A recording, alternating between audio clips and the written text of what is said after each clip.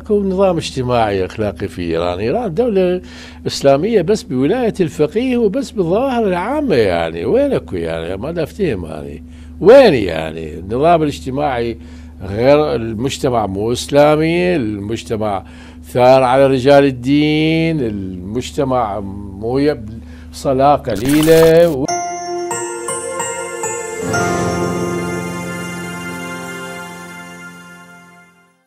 عينكم فقط بدنا نحكي الآن عن ال عن ال عن الزاد الفكري اللي تواجهون به، السلاح الفكري اللي تواجهون به الآخرين، أنتم فتحتوا عينكم على كتب محمد باقر الصدر، ما ماكو غيرها. اي صحيح. عندكم غيرها؟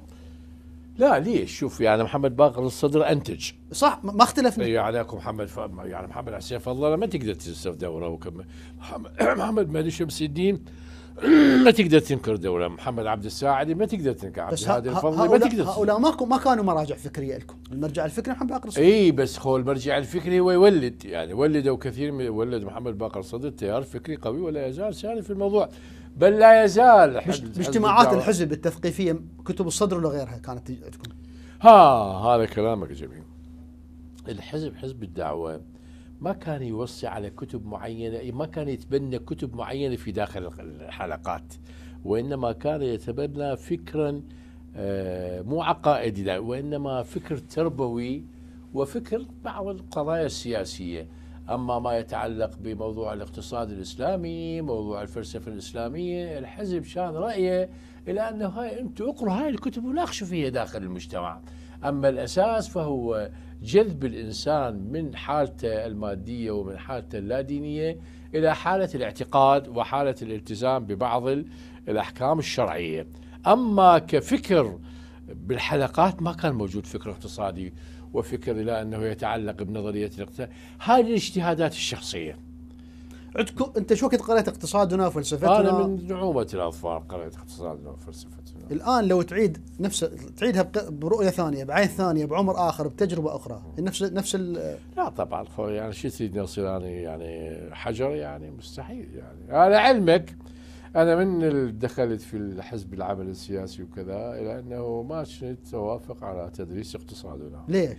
لأن كنت اعتقد إلى أنه اقتصادنا لا يصلح مو لأنه مو عميق لكنه كنت أعتقد إلى أنه لا يمكن أن يطبق ولا يمكن أن يأخذ مجراه إلى الواقع لأنه الاقتصاد العالمي قائم كله على الربا وقائم على الفائدة وقائم على المقايضات وقائم على الحرية الاقتصادية المفتوحة واقتصاد إسلامي ملتزم ببعض الأحكام الشرعية وملتزم بكثير من.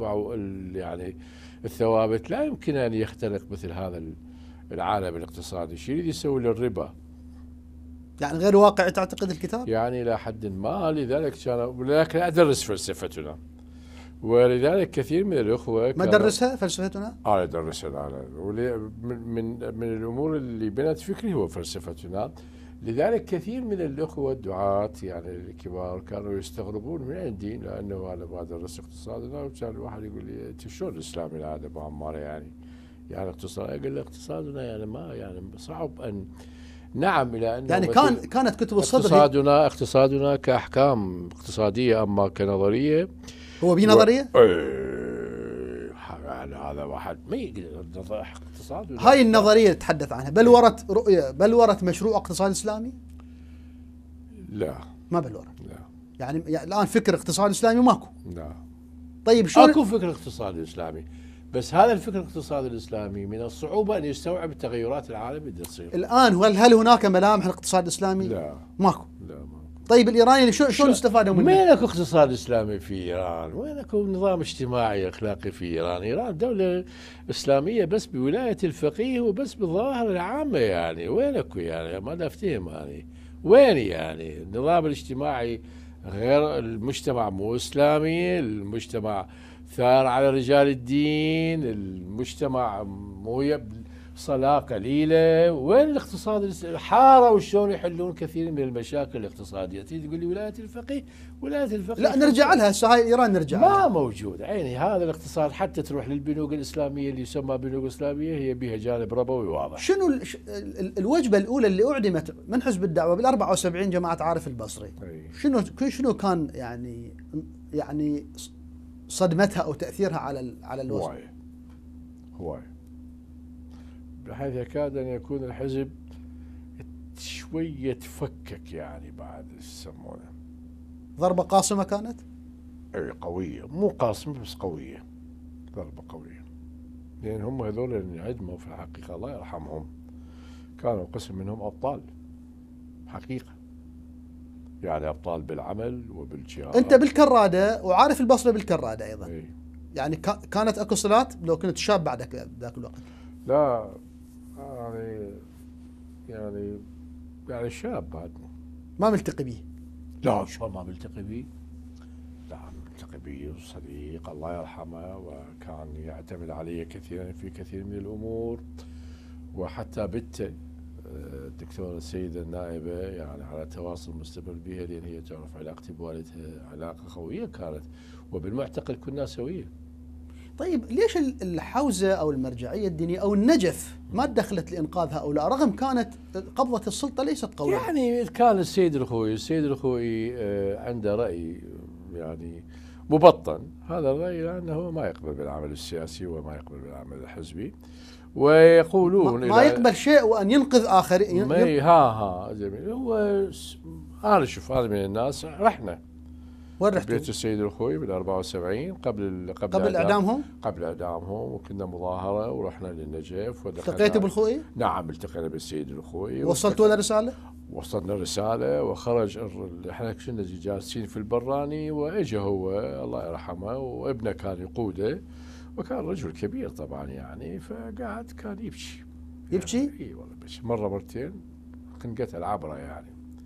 إي فكنا نقول له سيدنا كون هو ما كان يحكي بس ابنه حكى الله يرحمه سيد موسى. قال السيد يعمل بما هو أصولي. لا بعث برسالة إيه. للبكر إي بعث رسالة بعث رسالة بعث بعث رسالة بعث رسالة. عن طريق من وشنو؟ بعث رسالة إلى أنه لقد علمنا أن أحكاما بالإعدام صدرت بحق اثنين من الحوزة العلمية هم ثلا- خمسة. اثنين لا تسمع. الهدى. اثنين من الحوزة العلمية وثلاثة من الحوزة العلمية واثنين من المثقفين الإسلاميين. نرجو بيان ذلك أو أسباب ذلك. علما للبكر؟ أي. وجاوب ما جاوبه؟ آه، راحوا وفد أيضا. راحوا وفد لهناك واحد اسمهم هم كان رئيس وفد اسمه عباس الحجة. راح وألقى كلمة في داخل ال- البهو مال البكر يعني. إي فالبكر استمع تعرف البكر في الشيطان كبير يعني البكر يعني مثل مثل يعني ما اعرف بوظف يعني كلش عميق. قال نحن نعمل بما تقتضيه مصلحة الوطن وكذا ما فات شيء بعدين عدموهم الله يرحمهم. نعم. إي ما كان ما كان يعني يعني ما- ما أصغت الدولة القياده قيادة لا لا الدولة. ولا عنده هذا التفكير. سيد الخوي كان يقول رحمة الله عليه حسب ما سمعتها حسب ما سمعته من أناس قريبين للسيد. مر بك. قال له ليش تمشي سيدنا؟ قال الناس يردون عندي هيك وأنا أخاف أن يقولون أن الحوزة العلمية في النجف تهدمت في زمن السيد الخوئي كما أسست في زمن الشيخ الطوسي. وكان محق إلى حد